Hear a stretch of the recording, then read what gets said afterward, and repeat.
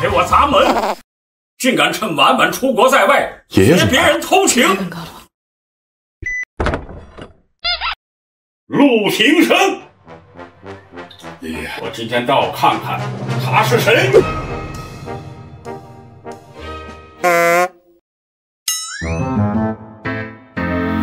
爷爷，你干嘛呢？爷爷，这不是怕你走歪路吗？